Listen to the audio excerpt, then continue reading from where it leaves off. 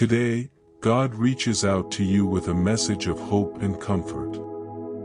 He knows the troubles you've faced, the tears you've shed, and the challenges you've encountered. But remember, His plans for you are full of goodness and not harm. He's ready to transform your difficulties into victories. The tough times you've endured will soon be replaced by His radiant light. Take hold of this promise. God understands that life can get overwhelming.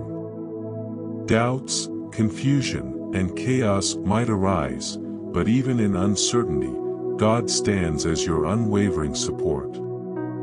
He's there during life's storms, guiding you and teaching important lessons. These experiences are molding you into a stronger, more resilient version of yourself. If you're looking for guidance, type guidance.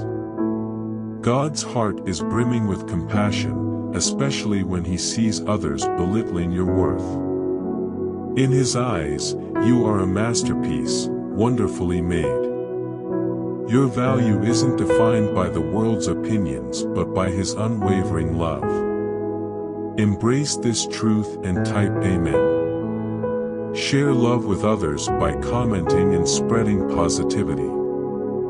If you believe in God's grace and power, show your support by giving this video a thumbs up and considering subscribing to our channel. May God's peace surround you, and may His grace sustain you on your journey. God bless you until next time.